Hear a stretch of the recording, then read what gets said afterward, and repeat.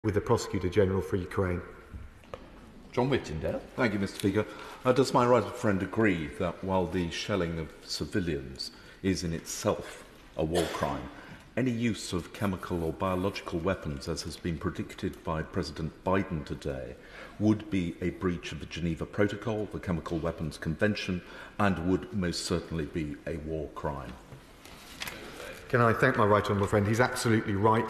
Uh, I'm always very careful to allow the ICC, which is independent, both the prosecutor and the, uh, the chambers of the court, to make those determinations. But the points of principle he set out are absolutely right, and we must have no impunity for those either in Moscow or commanders on the ground who commit those kind of atrocities.